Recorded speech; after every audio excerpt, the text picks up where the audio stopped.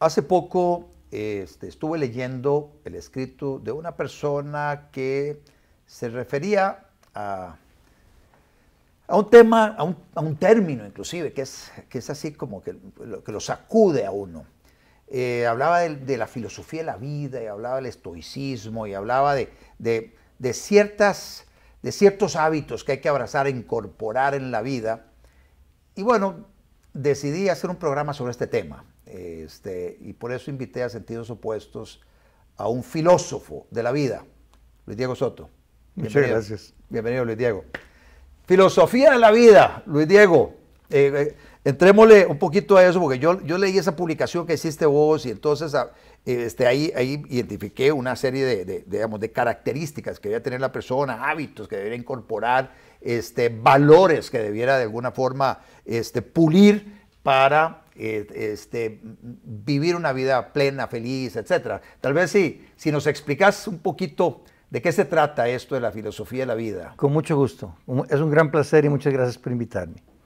Mira, yo soy empresario desde los 17 años, como vos sabés, y me conocen por mi trayectoria, pero pocos conocen en realidad que mi verdadera pasión es el arte de vivir. He estudiado eh, diferentes filosofías, diferentes religiones, y he llegado a ciertas conclusiones que en realidad son tremendamente útiles para vivir una vida plena y una vida feliz. Entonces me complace mucho hablarte un poquitito de eso.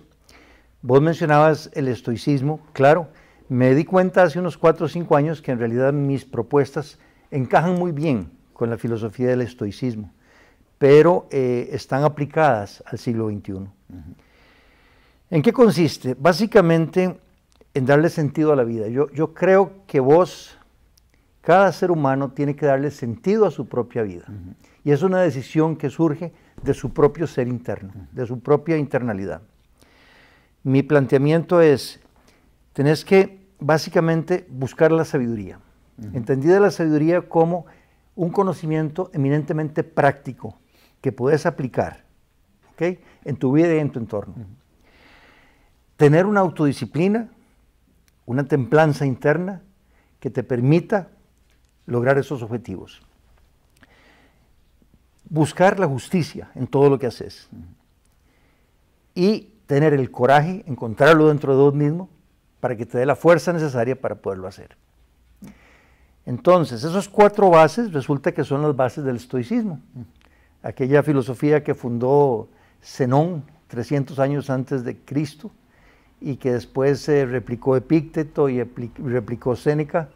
Y yo no sabía eso, me di cuenta de, de, que había unas enormes coincidencias, entonces ya dije, bueno, me defino entonces como estoico. Ajá. Pero eh, es, muy, es muy fácil y es muy importante entender que la vida con propósito es una vida que tiene que ser vivida con virtud. Entendido virtud como la capacidad de hacer el bien. Entonces, cuando vos haces todo en función de hacer el bien, que toda tu vida sea un reflejo de la potencia interna del ser ejerciendo el bien, no religioso, uh -huh. ¿ok? Estos, estos, estamos hablando de una ética, uh -huh. de una ética para vivir con valores profundamente humanos. Como que la característica de la vida toma otro, otro sabor, otro color completamente diferente. Sí, está la parte, la parte negativa de no matar o no robar, digamos, en el tema de, de, de, hacer bien o de convivencia, pero hacer el bien ya es donde, donde, donde, volviendo al tema del siglo XXI y a lo que es la vida cotidiana, vos como empresario, hacer el bien es este, tratar bien a tus empleados o tratar bien a, no sé, el entorno, el ambiente, la relación con tu familia, o sea, cómo desmenuzemos un poquito lo que ¿En para qué vos... Consiste? ¿En qué consiste hacer el bien? Hacer el bien es hacer lo justo, hacerlo lo, lo correcto de acuerdo a, lo, a tu, a tu conciencia uh -huh.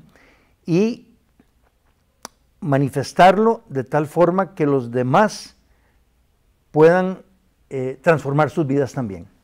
Entonces, para llevarlo a aplicaciones concretas, por supuesto que es trato correcto con los empleados, trato correcto con tus proveedores, pero eso, digamos, es la parte externa. Uh -huh. La parte interna es cómo logras eso, cómo logras ese autocontrol interno, y es donde yo he trabajado más. Uh -huh. el conocimiento de sí mismo. Y ahí es donde entramos a lo que mucha gente no hace.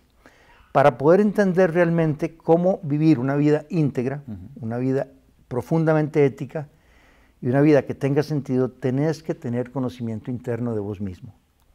Tenés que entender tu condicionamiento interior. Lamentablemente, la mayoría de la gente no aplica hacia adentro y vive una vida muy externa. ¿A qué me refiero? Vivir hoy en día es, es un acumular de cosas, es un... O sea, acumular experiencias. O sea, la vida es una suma de todas las experiencias que una persona va acumulando a lo largo del tiempo. Sí, pero acumulamos más de lo que necesitamos. Eh, sí. Y entonces aquí entramos a empezar a, discriminar. A discriminar, claro. ¿Qué es lo que vos ocupás realmente para vivir? Sí. ¿verdad? Porque hoy en día te bombardean no solo con cosas de consumo, sino con conocimiento y sobre todo con emociones. Entonces, para vivir una vida centrada, necesitas templanza. Para vivir una vida con templanza, necesitas distinguir entre, entre la vida emocional y la vida racional. Entonces, la persona, digamos, o el planteamiento que yo hago es, hay que vivir lo más iba a decir austero, pero bueno, yo personalmente vivo una vida bastante austera, pero por lo menos una vida lo más recogida y integralmente vivida como sea posible. O sea, que todas las aristas de tu... Imagínate un, arco, un aro, ¿verdad? Está el centro y todos los aros. Que todas las aristas, todos los aros estén desarrollados en forma simétrica, en forma balanceada. Entonces tenés una vida equilibrada cuando, cuando tenés un equilibrio interior, entonces das ese equilibrio interior. Ese, equilibrio uno lo lee, digamos, a ver, uno escucha o lee mucho material donde se habla de ese balance que tiene que ver con la parte del trabajo, cuánto tiempo le dedicas a tu trabajo, tu familia, tu entorno social, eh, la salud de tu, de tu, de tu cuerpo, este, el, eh, qué sé yo, la parte de lo que trabajas para tu para, para, tu crecimiento este, intelectual, etc. O sea, se habla de las diferentes áreas y si una persona le dedica suficiente tiempo a cada una, se, habla que es una persona balanceada. Hay personas que todo es trabajo y dinero, abandonan su, trabajo, eh, su familia, se abandonan a sí mismos y luego este, no son felices. Pueden acumular mucho dinero, pueden ser muy exitosos en eso, pero son tremendamente infelices porque tienen grandes vacíos y carencias en otras áreas de su vida. ¿A eso te referís? ¿Cuál es esa vida balanceada? Sí, eh, parcialmente. Algunas de las cosas que uno debe preguntarse es, bueno, ¿qué es el éxito? ¿El éxito es un reconocimiento externo de lo que yo he hecho en mi vida?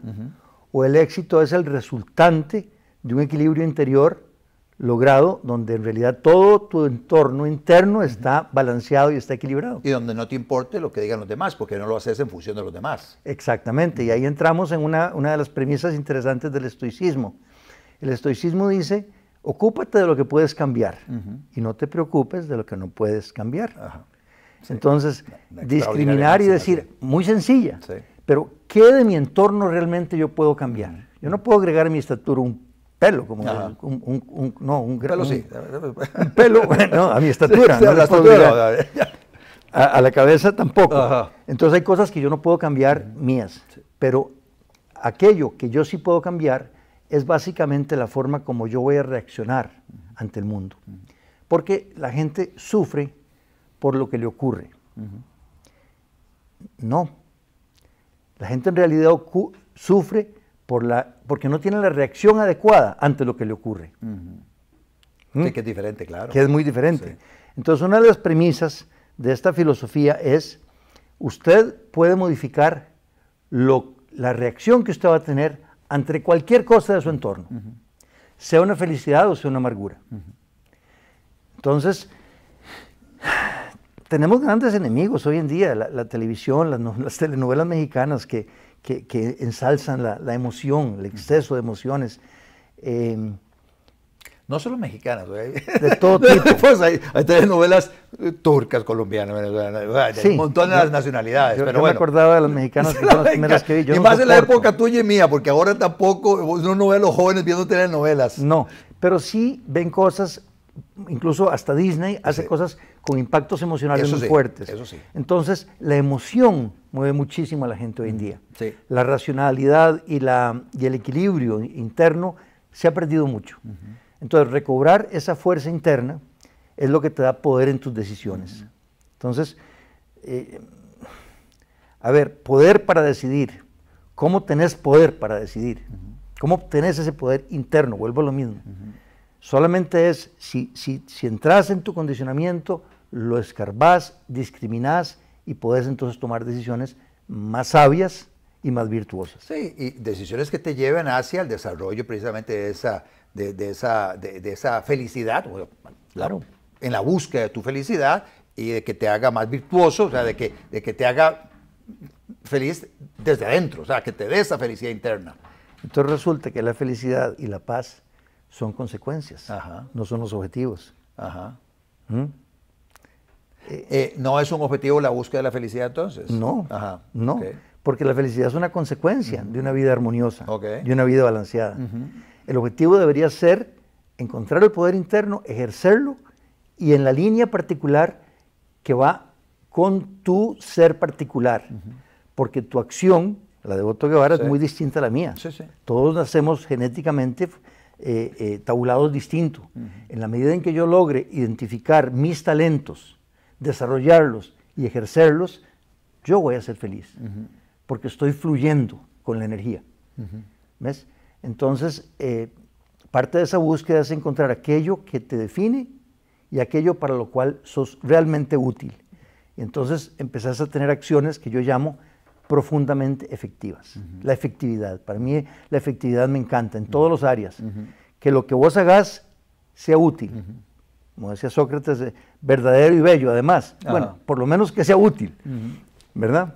Estaba, estaba viendo hace, hace poquitos días esta serie de Netflix que son las, las zonas azules, que son estas, eh, la serie habla de cinco zonas en el planeta donde este, eh, abundan o, o hay una, una, una- una población alta de centenarios, personas de más de 100 años. Y esta, y esta persona que monta la, serie se va a los diferentes lugares para conversar con centenarios, para entender cómo es que estas personas llegan, han llegado a las edades que han llegado y tratar de ver si hay algo que, eh, alguna receta que se pueda sacar para luego compartirla con el resto de la gente y que entonces empezar, em- que empecemos a tener más zonas azu- azules en el planeta.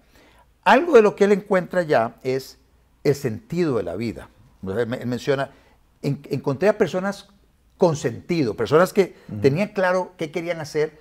Eh, Son personas también que sacan el rato para alimentarse bien en familia, conversar, que hacen trabajos manuales, que hacen, que hacen un poco de ejercicio, que socializan. O sea, empezó a sacar algunas características interesantes, este, aparte, bueno, el tipo de alimentación que tenían, etcétera, que, que de alguna forma explicaba cómo estas personas llegaban a la edad que llegaban y llegaban siendo felices. Entonces él hablaba sobre el concepto de la felicidad, ligado también a una vida muy longeva, pero que el objetivo de ellos no era, eh, no era romper el récord de la cantidad de años vividos, sino que además vivirlos bien.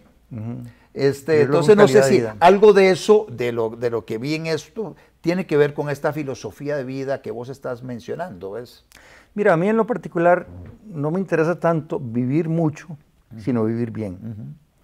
Y para vivir bien, curiosamente, tenés que vivir siempre con mucha presencia en tu vida de la muerte. La sociedad actual En el sentido que en cualquier momento, en cualquier momento, hasta, hasta ahí, hasta ahí te eso, Dios. ¿o? más que eso, más que eso. No solamente saber que en cualquier momento me muero, porque todos lo sabemos. Sí, sí, sí. Es hacerme consciente de la transitoriedad de la vida, que es distinto. Vivir, si vos vivís consciente de que tu vida en realidad es prestada, estás administrando cosas y que tiene un principio y un final y que ese final es totalmente desconocido, puede ser ahora yo ba- bajando las escaleras Sí, aquí, sí, sí, sí. que se acabe. Si yo vivo consciente de eso, entonces cada acto, cada día, cada acción que yo hago, la hago en función de ese conocimiento. Y ese conocimiento es vital para transformar la, la profundidad, la dimensión, la trascendencia de lo que haces. Eh, como le dije a los diputados el otro día, en 50 años ninguno de ustedes va a estar vivo. que me tocó hablar con ellos, la realidad es eso, en, 50 años ni vos y yo vamos a estar vivos. Esa es la realidad. Entonces, ¿qué de lo que hacemos estamos, estamos haciéndolo realmente para las siguientes generaciones? ¿Qué de lo que hacemos está dejando huella? ¿Qué no está dejando huella? Pero deberíamos dejar huella. Yo pienso que sí, por lo menos para mí es parte de, mi, propósito de vida, dejar huella. Dejar huella, una huella para que la siga alguien, para que la siga tu, no sé, tu familia, otras personas, o sea, es... Es que mi, plataforma es la humanidad entera. Vos sabés, cuando te pones a pensar que Otto Guevara hoy en día es el resultado de dos millones de evolución. Y tu genética en este momento y tus genes que tenés son la punta de lanza de dos millones de evolución, de años, literalmente. Y lo que vos le transmitís a tu hijo, y lo del hijo a su hijo, no solo genéticamente, sino culturalmente, es la, cumbre de todo ese proceso. Entonces yo soy enormemente positivista. Yo creo que el ser humano está mejorándose constantemente y mejorando su entorno y mejorando este misterio que, es vivir en una nave espacial que está dando vueltas, que no sabemos para dónde va, ni de dónde viene, ni, ah. ni, qué la hizo, pero la realidad es que vivimos en una epidermis así, en la corteza terrestre, ¿verdad? Y se nos olvida que, es una bola dando vueltas y que algún propósito ha de tener, ¿verdad? Entonces, encontrar dónde encajo yo y cómo colaboro con ese propósito general de la evolución, es para mí eh, mi sentido de vida. Sí, y lo decías al principio también, hacer el bien te hace feliz. Entonces, hacerle el bien a, otras personas, a tu entorno, y darle ese, sentido a la vida que mencionabas. Y mencionabas otras dos características para ver si las repasamos nuevamente de la definición de lo que, de lo, eh, que... luego te diste cuenta que era la filosofía estoica. ¿Cuáles eran esas características de esa vivir... Eh, Vamos a repetirlas, son cuatro. Sí. La búsqueda de la sabiduría. Sí como sabiduría entendida como conocimiento aplicable, o sea, que sea útil. Que hoy, dicho sea paso, que hoy, dicho sea paso, este, metiendo, metiendo lo que es siglo XXI, tecnología, de donde estamos, el buscar conocimientos hoy está al alcance de un clic. Exacto. O sea, el, que no quiere aprender es porque realmente no tiene ganas de aprender. Porque ya no, yo no sé vale el pretexto, no es que no me aceptaron en la universidad, el colegio, lo que fuera. ¿Tenés conexión a internet? Sí. ¿Tenés eh, un aparatillo inteligente? Sí tenés de 24 horas al día, 8 horas de descanso. Pero, eh, ¿cuánto de tu conocimiento lo usás? Ajá. Eh, ¿Cuánto del que ya tenés en tu cabeza lo usás? ¿Y cuánto podrías adquirir? Bueno, ahí está el montón de conocimiento que podrías adquirir si tenés la, disposición adecuada. Correcto, correcto. Entonces, ese es, ese es el primero. La búsqueda de la sabiduría es Sí, la búsqueda de la sabiduría que como, como, conocimiento aplicable, útil. Ajá. La autodisciplina. Sin autodisciplina no puedes llegar a ningún lado la templanza. escarbemos un segundito ese de la autodisciplina. Ya no, no sé si tendrá que ver con eh, mi cuerpo es un templo y yo tengo que ver, tengo que cuidarlo, entonces tal vez no, no incurrir en excesos, excesos que puede ser desde no eh, mucho alcohol, no, eh, drogas, sexo, en fin, desvaríos en mi, en mi comportamiento como ser humano. No sé si por ahí va un poco eso. En parte va por ahí, en parte es la templanza necesaria para vivir armoniosamente, pero también es la capacidad de tomar una decisión y llevarla adelante. Perseverar en esa decisión. Ajá, O sea, vos, vos, decidiste hacer este programa y entonces tomás todos los pasos necesarios para que este programa sea un éxito. Así es. Sí, sí. Entonces, la, autodisciplina es lo que te permite llegar a, un, a, un, objetivo. La justicia, porque la justicia es, es un factor esencial para la ética en vivir. Sí. Eh, no hagas a los demás lo que no quieras que te hagan a ti, ¿verdad? no, te andes jamoneando ni gorreando a nadie, ni haciendo el mal. O sea, sé justo y si ves alguna injusticia, bueno, y metete, metete de alguna manera también a decir, no, pero, pues, o sea, no puedes darle espalda ante una injusticia que se está cometiendo. Me imagino que tiene que ver algo con eso. Perfecto. Y el último tema es el coraje, la fuerza necesaria interna para poderlo hacer. Cuando vos esas cuatro cosas las tenés como prioridad en tu vida, vos sos insobornable. Nadie te puede comprar. Es vivir en realidad en la virtud. Porque ni el dinero, ni la fama, ni el poder te van a hacer cosquillas. Eso es vivir una vida virtuosa. Eso es vivir una vida em, fascinantemente formidable. Ajá. No, se, y se, se te- se te nota, lo proyectas, no sé si la cámara lo captará, pero yo veo ese brillo en tus ojos de que efectivamente Sí. este, se- te sentís a, a gusto con la vida que estás viviendo. Sí, porque no hay nada más, no hay nada que te seduzca y te, y te aparte de esa línea, ¿verdad? Eh, cuando cuando hey, Séneca era, era, era uno de los mayores exponentes del- del- de esta filosofía, cuando Nerón se volvió loco y hey, lo llamaban y, y le, le preguntaba cosas, y él sabía que si respondía y no le gustaba, lo mandaban a matar. Y sin embargo, Séneca decía, es que yo no le tengo miedo a la muerte, entonces no hay ningún problema. Eh, esto es así. Y le decía la verdad, y hasta el último día en que vivió, dijo la verdad, y lo que, aunque el otro no quisiera escucharlo, porque no le tenía miedo. Entonces, el miedo es una de las cosas que hay que explorar para tener una vida exitosa. Te dije la muerte, Ajá. pero también el miedo. Hay que entender el miedo, porque el miedo siempre es eh, uno de los grandes opresores de la conciencia humana. Es el miedo a- a, al fracaso o el miedo a la expectativa, ¿verdad? No lograr la expectativa. Eh, en la filosofía que yo propongo... es un paralizador de, Es un paralizador de, de, la acción. de la acción, deci- claro. de- de la acción. Entonces, de lo que se trata es, volvemos a lo mismo, la lo que tengo enfrente es lo que resuelvo, es lo que afronto y busco la mejor solución posible. Lo logré o no lo logré, no depende de mí. Ajá. El resultado no depende de mí, ve qué interesante.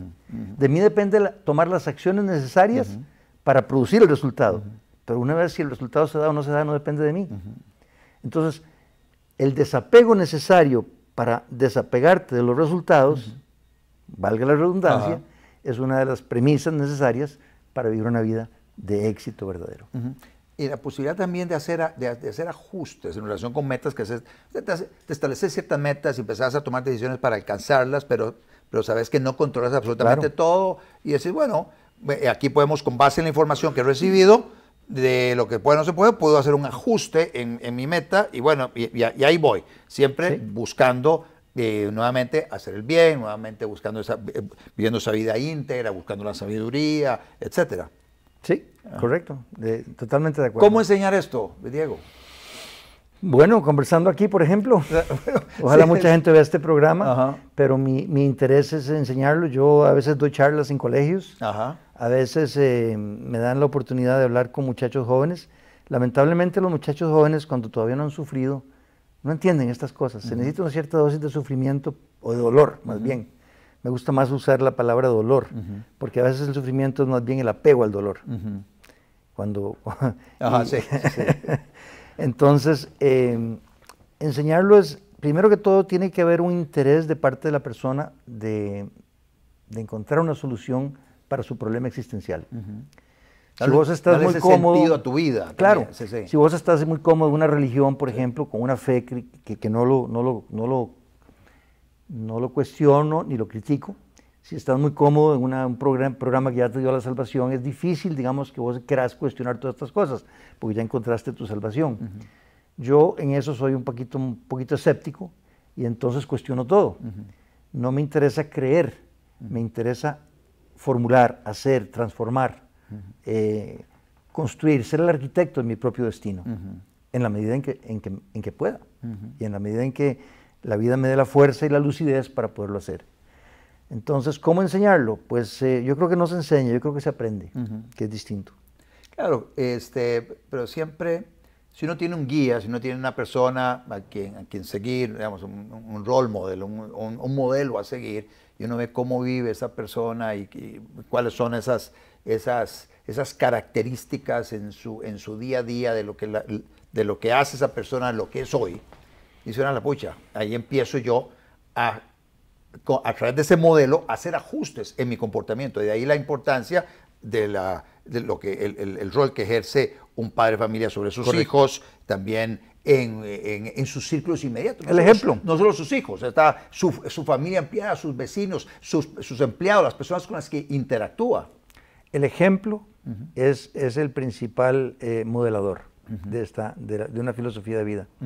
Cuando ves una persona ordenada y que tiene, tiene claras las cosas, pues eh, vos, vos querés saber cómo lo hace, de qué forma lo, lo estructura, ¿verdad? Eh, este dicho famoso que tus acciones hablan más fuerte que tus palabras Así es. completamente cierto, ¿verdad? Entonces, em, ¿cómo enseñarlo? Es, es- es una de las preguntas que yo me hago. quiero hacerlo. Ya yo tengo eh, una edad donde, donde mi necesidad de contribución está, está patente. Como vuelvo, sé que, que voy a morirme y que mi vida es finita. Y por tanto quiero aprovechar los, los, años que queden para que ojalá la mayor cantidad de gente eh, entienda estos conceptos, los aplique, entienda mejor el conocimiento de sí mismos y lo, lo puede internalizar para que pueda externalizarse. De adentro hacia afuera. Se me ocurre algo, Luis Diego, y nosotros acá en producción podríamos, podríamos ayudarte. Este, una serie de videitos muy cortos, ¿ah? de cada uno de esos cuatro, cuatro postulados, cuatro principios, con ejemplos muy concretos, este, donde hacemos ahí un videito para luego compartirlo a través de las diferentes redes sociales, TikTok o lo que fuera, es, mire, aquí están una este, una guía ¿ah? de, qué lo, este, de cuatro pasos que si usted los incorpora en su vida, bueno, va a lograr vivir con mucho mayor eh, felicidad, felicidad. Este, y con virtuosismo. ¿ah? Como, como su producto. Sí, sí. Bueno, eso es algo que por lo menos acá nosotros, Diego, Mm, estoy fascinado con eso y entonces quiero ver de qué manera contribuimos en esa dirección. Pero como te digo, podemos hacer tres, cuatro videitos cortos y luego podemos empaquetarlo de una manera que sea muy atractivo para los jóvenes, que hoy también mucho les llega visualmente a través de TikTok o lo que fuera, entonces podemos... tiene que ser corto, porque esto ah, ya es muy lejos. No, no, no, esto... Más bien yo le agradezco a los que ya tienen... Eh, eh, estos 25 minutos, los 25 minutos que, están viendo esto, completo. sé lo que van a ver completo, pero esto nosotros sacamos de todas maneras siempre videitos cortos de estas entrevistas y lo vamos a pasar. Pero estoy pensando en que podamos hacer una, una edicioncita especial sobre estas... Con mucho gusto. sobre esta, esta, esta fórmula para vivir una mejor vida. Vos y yo tenemos algo en común y es que vos sos un exponente de las ideas de libertad en política. Yo soy un representante de las ideas de libertad interior. Bueno, fabuloso. Y se, y se unen y, y tienen muchos elementos en común las dos. Así es, Luis Diego. Muchísimas gracias. Con muchísimo gusto, ha sido un placer. Y muchísimas gracias a ustedes por la atención que, se han, que, han, que han servido tener hacia este programa, esta entrevista tan interesante sobre esta filosofía de la vida.